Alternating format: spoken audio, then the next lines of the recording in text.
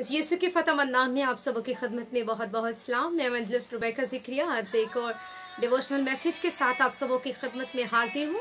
उम्मीद करती हूँ कि आप सब लोग खुश हैं और खुदा के नाम और उसके जलाल में बढ़ते जा रहे हैं और किसी भी मुखालफत की परवाह ना करते हुए आप उसके बताए हुए रास्ते में बखूबी जो है वो डटे और कायम है। मेरे चीज़ों कितनी जो है ये खूबसूरत बात है कि खुदा का कलाम हर तौर से हमारी रहनुमाई करता है।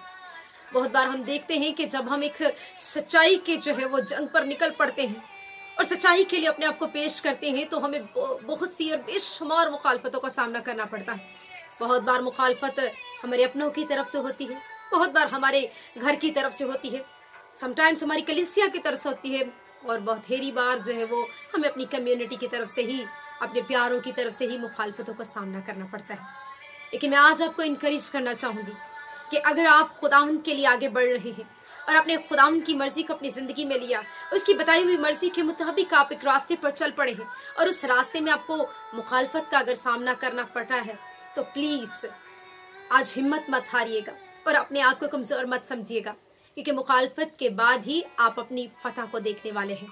और जिस कदर मुखालफत ज़्यादा समझ जाइए कि आप अपनी मंजिल के उसी कदर करीब ज़्यादा है। क्योंकि मेरे अज़ीज़, बाइबल मुकदस में मैं आपके सामने एक ऐसे वाक्य को मैं आपके साथ शेयर करना चाहूँगी कि जब हम समूल की पहली किताब में देखते हैं, उसके गालबन सत्रहवें बाब में तो वहाँ में पता चलता है कि जब जाति चूलियत ने जो है खुदा के लोगों को ललकारा और मर्द खुदा दाऊद ने कहा कि हम ज़िंदा खुदा के नाम से इस पर फतह पा सकते हैं तो उसे अपने भाइयों, सिपाहियों और बादशाह की तरफ़ से बहुत सी अपोजिशन को फेस करना पड़ा। सबने उसकी मुखालफत की कि तू ऐसा नहीं कर सकता, लेकिन मुकदस दौड़ डटे और अड़े रहे। और हम देख सकते हैं कि बिलाखिर उन्होंने खुदाउन पर भरोसा रखकर पता से बढ़कर गलबा पाया। तो आज मैं आपके साथ तीन बातों को शेयर करूँगी। नंबर एक, सबसे पहले ज़रूरी है कि आपके पास खुदा की मर्ज़ी हो। नंबर दो, आप खुदा की मर्ज़ी को लेकर उस रास्ते पर आप के अंदर चलने की दलेरी हो। और नंबर तीन, जब आप चल पड़े तो फिर मुखालफत कैसी ही क्यों ना हो। आप डटे रहे, अड़े रहे और कायम रहे।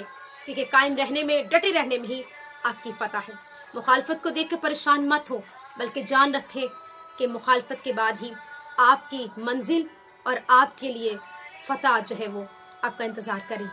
मेरे जीजो आज जैसे कि आप मुझे देख सकते हैं, बिंगा एक वुमेन होते हुए, आज मनिस्ट्री में खुदाम के नाम को मैं जलाल दे रही हूँ। मैं आपको बताना चाहूँगी एज अ पर्सनल एक्सपीरियंस अपने, को आपके साथ शेयर करूँगी, कि मेरे लिए इस कदर आसान ना था कि अपनी खदमत का आगाज़ एक वुमेन होते हुए मैं कर सकूँ। बहुत सी मुखालफत को मैंने फेस किया। इवन कि जब मैंने लाइव जो है वो सेशंस को लेना शुरू किया तो बहुत से लोगों ने जो है वो मेरे हेड कवरिंग पर जो है वो ओपोजिशन को उठाया। बट मैं खुदावंत के नाम को मैं जलाल देना चाहूँगी। क्योंकि मुझे पता था कि मैंने किसी रिलीजन को फॉलो नहीं करना। ना मैंने किसी शख्स की बात को मैं फॉलो कर रही हूँ। क्योंकि मैं खुदाम के कलाम को फॉलो कर रही हूँ। मुझे फकत खुदा के कलाम को बयान करते वक्त अपने सर को ढांपना है। तरीका चाहे जो भी हो। मुझे पता है कि मैं सही कर रही हूँ क्योंकि ये खुदा के कलाम का हिस्सा है।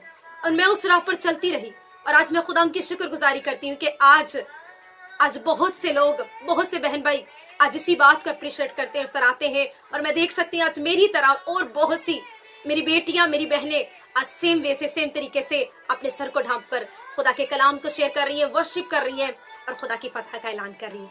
हालेलुया सो उम्मीद करती हूँ कि आज के इस मैसेज से, से आपने भी दलेरी को और इनक्रेजमेंट को पाया है। तो इसे दूसरों तक शेयर करें ताकि तमाम कमज़ोर जिंदगियाँ दलेरी को पा सकें।